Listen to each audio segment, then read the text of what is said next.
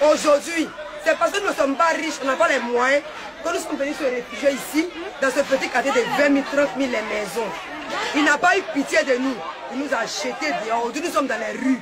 Il y a les femmes enceintes qui ne peuvent même pas marcher. Bagage sur la tête. Elles, font leur travail sur la route. Il est méchant. Rendez-vous 2015. Je suis un homme de RHDP.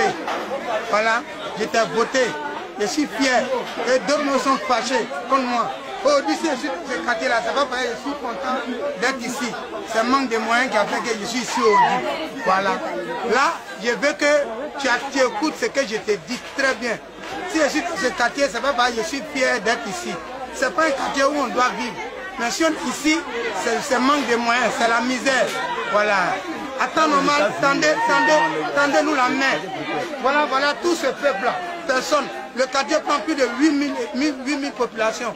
Aujourd'hui, là, on n'a pas de doctorat. On est là. On t'a voté là, on ne savait pas que c'était comme ça, tu allais nous récompenser. Voilà, c'est la misère, la solution de la misère que tu as envoyée chez nous. Ce n'est pas la solution, hein. c'est la solution de la misère, la pauvreté. Tu nous avais promis que nous tous là, on va, on va, on va oublier la misère. Mais aujourd'hui c'est plus que la misère.